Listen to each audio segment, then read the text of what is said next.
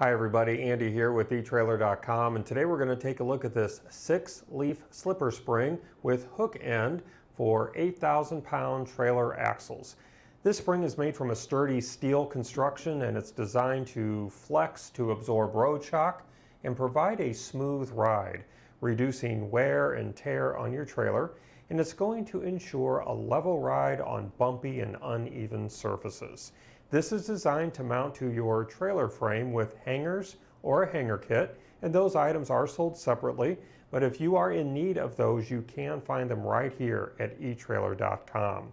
In the eye is a pre-installed nylon bushing, and the eye of this spring will attach to the hanger mounted on your trailer frame, and the slipper end is going to slide into your hanger or equalizer.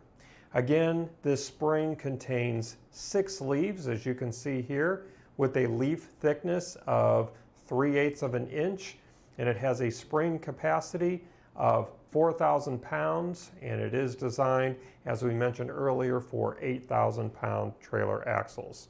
Now let me pull out my tape measure here and just give you the measurement here from the center of the spring eye uh, to the end of our spring, we are sitting right at 29 and a half inches. And the spring width is two inches. And the eye diameter with the included bushing is 9 sixteenths of an inch. Without the bushing, it's 11 sixteenths of an inch. And I do want to mention that additional dimensions with diagrams can be found on this product page. Uh, an important note that I do want to make is to ensure proper axle alignment and suspension performance. Leaf springs should always be replaced in pairs, and we do recommend installation by a professional.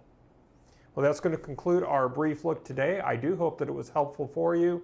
Again, my name is Andy. Thank you for joining me.